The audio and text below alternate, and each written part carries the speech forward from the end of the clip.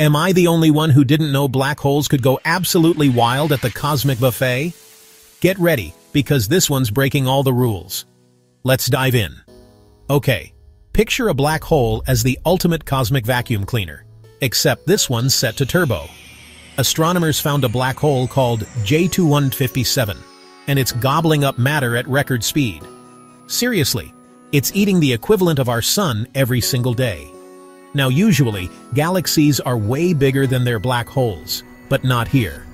J2157 is growing so fast, it's catching up to, and might even beat, its own galaxy in size.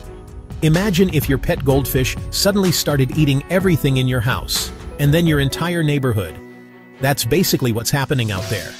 Scientists are still scratching their heads, wondering how this hungry monster got so out of control. Space is wild, and black holes like this one remind us, there's always something out there ready to surprise us.